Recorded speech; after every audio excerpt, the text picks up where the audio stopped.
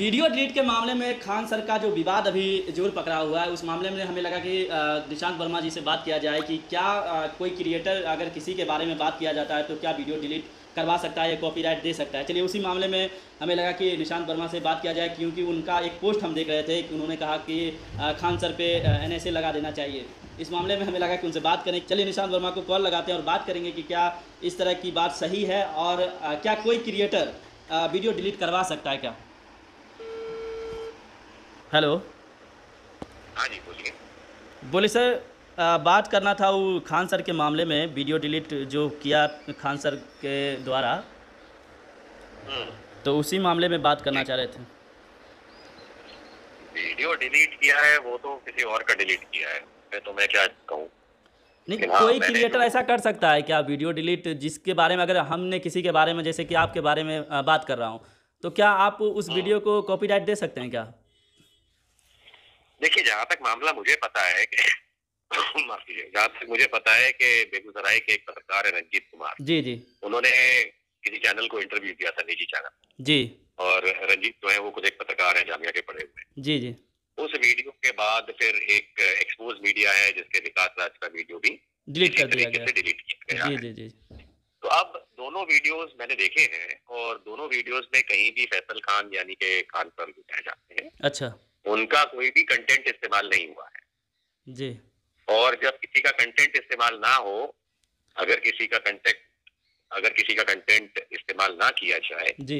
लेकिन अगर उसके बारे में बात की जाए तो वो किसी की प्रॉपर्टी नहीं बन जाता।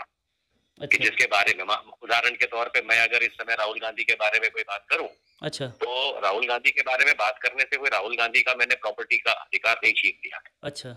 यानी कि वो मेरा कोई कंटेंट मेरे पे इंफ्रिंजमेंट नहीं कर सकते तो फिर कैसे कैसे। कॉपीराइट देखिए ऐसा होता है ऐसा होता है कि कमर्शियल वेबसाइट जो होती है या कमर्शियल पेज जो होते हैं वेरीफाइड पेज जो होते हैं या इस तरीके के जो बड़े पेज होते हैं जो वेरीफाइड है कमर्शियल है पैसा देते हैं आजकल आपको पता ही है ब्लू टिक के भी पैसे देने पड़ते हैं तो उनकी प्रिविलेजेस में जो होता है वो ये होता है कि अगर आप ऐसा कुछ कंप्लेंट करते हैं अच्छा तो सामने वाले को नोटिस जाता है बिना देखे फेसबुक कोई देखने नहीं बैठता कि भाई आपने जो कंप्लेंट की है सही है या गलत है।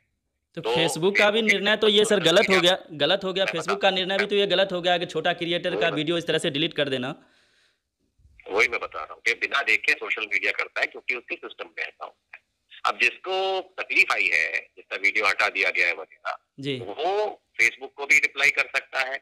और अगर उस नोटिस में लिखा है कि डायरेक्ट आप ईमेल करें जिसने कॉपीराइट लगाया है उसको ईमेल करके भी अपनी जानकारी दे सकता है और पूछ सकता है कि आपने क्यों ऐसे कॉपीराइट लगाया। जी। उपरांत इसके भी अगर जवाब नहीं आता है या सेटिस्फेक्शन नहीं होता है क्योंकि एक बार ऐसा हुआ था कई महीनों पुरानी बात है कि मैंने मनीष कश्यप का एक वीडियो इस्तेमाल किया था जिसमें वो बिहार के लोगों को गालियाँ दे रहा था। अच्छा। और फिर मनीष कश्यप की जो टीम है सच तक वाली उसने मेरे ही वीडियो पे इस तरह से कॉपीराइट लगाया था और उसका मुझे ईमेल आया था। अच्छा। तो मैंने उसमें जवाब में उसको लिखा था मैंने कहा था कि भाई अगर तुम्हारी इतनी फटती है कि तुम बिहार को गाली दो और कोई और दिखाए तो तुम कॉपीराइट लगाओगे। तो फिर तुम ऐसा काम करो कि किसी मुजरे मुजरा किया करो ये रिपोर्टिंग मत किया करो। अच्छा। खैर मैंने अपने शब्दों में लिखा था जिसके जवाब में पहले तो वो मना करता रहा लेकिन कुछ दिनों के बाद खुद सामने से उसने कॉपीराइट हटा लिया था। अच्छा। ये तो तब की बात है जबकि मैंने किसी का कॉपीराइट का एक वीडियो इस्तेमाल किया था।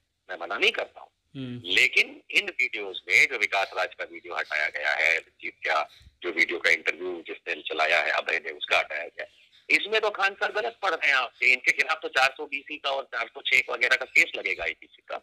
और कॉपीराइट एक्ट का सेक्शन 63 तो उल्टा खान पे लगेगा कि भाई जब तेरा कोई इस्तेमाल नहीं किया है प्रॉपर्टी तो तू कैसे अपना कॉपीराइट लगा सकता है? क्योंकि वेरीफाइड अकाउंट के पास ये प्रिविलेज होती है अच्छा। कि वो सोशल मीडिया प्लेटफॉर्म पे दूसरे अनवेरीफाइड अकाउंट पे कॉपीराइट लगा सकता है। अच्छा अगर उसके उसके बारे में अगर बात भी करते तो भी।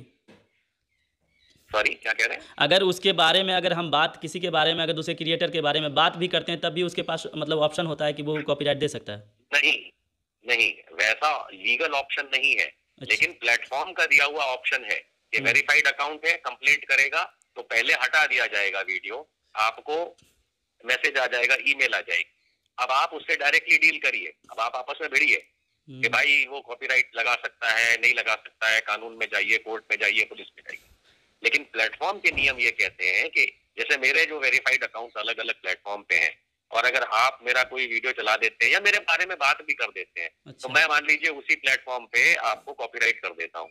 हम्म, अब वो हो जाएगा कॉपीराइट उस समय। लेकिन उसके बाद कानूनी प्रावधान आपके पास ये है उस समय कि फिर आप मुझसे पूछ सकते हैं कि भाई क्यों लगाया?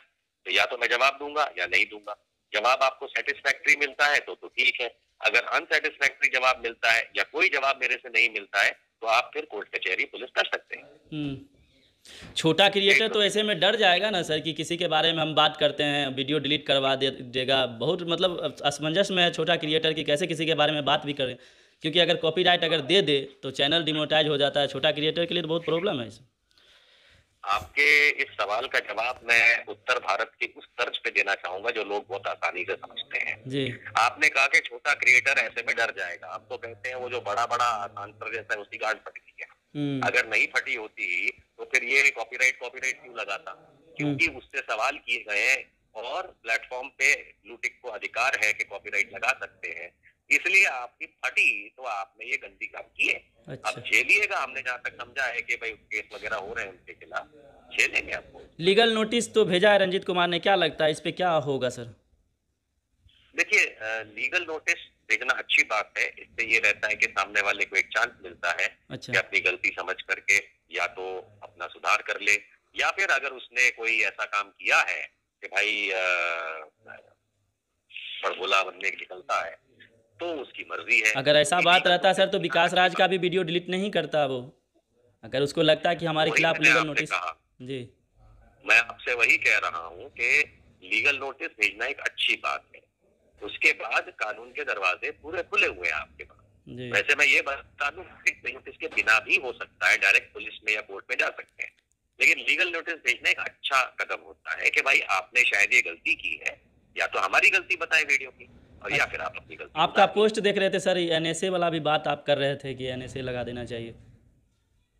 अ, मैंने आज मुख्यमंत्री बिहार को अपेक्षित कर दिया है कि फैजल खान उर्फ़ खान सर जो है आपके जी। उन पे एनएसए लगना चाहिए। एक और अन्य वीडियो है खान या फैसल खान का जिसमें वो आपको गैर कानूनी गैर संवैधानिक और कहते हैं ना राज्य के खिलाफ हम्म, कैसे जैसे सरकार के खिलाफ जो लड़ाई वाली बात होती जिसमें लॉ एंड ऑर्डर कोलैप्स हो जाता है वो बातें उसमें वो समझा। क्या इसमें लीगल तो है सर कि लोग तो कहेगा कि हर बात में निशांत वर्मा सबको कहते हैं कि एनएसए ही लगा देना चाहिए। तो मज़ाक नहीं होगा थोड़ा सर तो भाई देखिए हमने जो अभी तक कहा है वो सच भी तो हुआ है।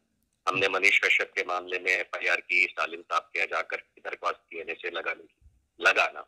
इसी तरीके से जब मोनू मानेसर हरियाणा का नूह वाला था गुड़गांव वाला जो मैटर हुआ उसमें हमने हरियाणा सरकार राजस्थान सरकार को जो भी प्रेक्षित अपनी तरफ़ से किया उसका नतीजा आपने देखा ना। वहाँ भी एनएसए लगाने की बात है देखते हैं लगता है नहीं लगता है आगे की बात। है और उसी तरीके से अगर कोई इतना बड़ा गलत काम करेगा जिसको हम कहते हैं एंटी स्टेट स्टेट मतलब राज्य नहीं मतलब देश खिलाफ का काम करेगा एंटी नेशनल चीज़ें समझाएगा। देखिए अगर कोई छोटा मोटा आदमी बकवास कर रहा हो ना तो उसको खाली समझाया जा जी जी। लेकिन अगर कोई सोशल मीडिया में राजनीति में समाज में अगर कोई बड़े कद का हो जाता है तो फिर उसके बाद अगर वो कोई देश विरोधी बात करता है तो फिर उसके पर उतरने पड़ते हैं। हम लोग सर छोटे क्रिएटर हैं थोड़ा सा असमंजस में है कि अगर खान सर के विरोध में कुछ भी चलाए तो मेरा भी चैनल चला जाएगा डिमोटाइज हो जाएगा वीडियो उड़ा देगा। छोटा क्रिएटर जितना भी है सब डरा हुआ है इस मैटर में। तो खान सर की गांड फटी हुई है तो आप एंजॉय कीजिए ना जी। बात नहीं। गांड फटी है उसकी। ये तो कहते हैं उत्तर भारत में कोई गलत शब्द मैं कह नहीं रहा हूँ। गाली तो नहीं दे रहा हूँ। अच्छा। हैं? वो तो हमने सुना है खुद कहता है कि हथेली में मुँह तो मुँह तो ऐसा ऐसा शब्द बोलता है पता नहीं सर पता नहीं ये भी ऑडियो डालेंगे चैनल पे पता नहीं खान सर के द्वारा क्या डिलीट कर दिया जाएगा क्या अरे भाई है अगर वो अगर वो आपका कॉपीराइट लगा देता है सिर्फ़ बातें करने के लिए तो आप भी उस पे केस ठोक दीजिएगा चार सौ बीसी का। अच्छा। भाई तेरा जब कुछ इस्तेमाल नहीं किया तेरे बारे में बात करना गुना है तू के प्रधानमंत्री और राष्ट्रपति से बड़ा हो गया है हैं इतना बड़ा तू हो गया है कि तेरे, तेरे बारे में बात नहीं की जा सकती। तू दुनिया भर की बकचोदी करता है तेरे बारे में बात नहीं कर सकते। और अगर करते हैं तेरे बारे में बात और तू उस पर कॉपीराइट लगाता है तो आ जा बेटा। उस पर चार सौ बीसी आईपीसी का लगा दीजिए धारा का एफआईआर कर दीजिए उसके ऊपर। अच्छा। कॉपीराइट एक्ट 1963 का सेक्शन 63 लगा दीजिए। देखो कैसे दौड़ता हुआ आपके पास चरणों में लौटता हुआ आएगा। अच्छा। भाई अगर किसी अगर किसी की प्रॉपर्टी पे आप जबरन जबरन अधिकार दिखाते हैं या उससे हड़प लेते हैं तो क्या होता है? तो आज मैं और आप ये बात कर रहे हैं भले तीसरे व्यक्ति के बारे में बात कर रहे हैं। जी जी। बात करना तो गुनाह नहीं है इस कानून में लिखा है कि हम किसी व्यक्ति के बारे में बात नहीं कर सकते पहली बात। दूसरी बात इस तो, जो आप ये ऑडियो वीडियो जैसे भी आप अगर मान लीजिए सोशल मीडिया पे इसको बेचते हैं जी। तो उसके बाद अगर वो उसमें कॉपीराइट लगाता है किस अधिकार से लगाता है भाई? तेरा क्या इस्तेमाल कर लिया? यार कोई इस्तेमाल तो सर विकास राज भी नहीं किया था कुछ इस्तेमाल वैसा इस्तेमाल तो वो भी नहीं किया था सिर्फ़ नाम लिया उसी में वीडियो डिलीट हो हाँ, गया। तो इसमें जो इसमें गुनेगार कौन हुआ? जस्ट बिकॉज़ मान लीजिए कि आप एक पुलिस इंस्पेक्टर हैं और सरकार ने आपको एक बंदूक दी है ठीक है?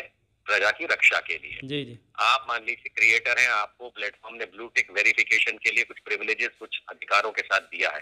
तो आप उसका गलत इस्तेमाल तो नहीं करेंगे। पुलिस वाला जाके किसी को गोली ऐसी तो नहीं मार देगा। आपके पास कॉपीराइट है किसी प्लेटफॉर्म का तो आप जहाँ कॉपीराइट नहीं है वहाँ भी मार देंगे।